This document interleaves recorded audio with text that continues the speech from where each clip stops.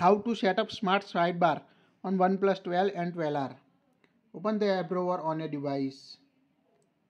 Tap the settings app. Scroll down up to special features. Tap on it. Here you can see smart, smart sidebar option. Tap on it. It will helpful to quickly open apps. Now tap on a get started. Now here toggle on the option smart sidebar.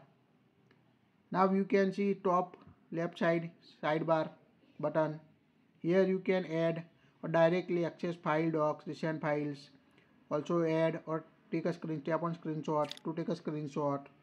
So quite useful feature. Also automatically hide the floating bar for smart sidebar. Choose auto hide or do not hide option you want to set. Here we turn on.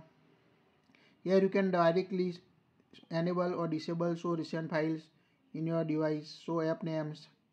Here you can choose auto hide or do not hide the smart sidebar. Just select the option you want to set on the device. So you can quickly access the application. Tap on edit icon. Here you can add the app. Tap on a plus icon to add the app.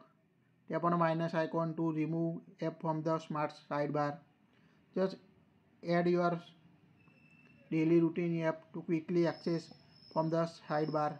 Just top swipe.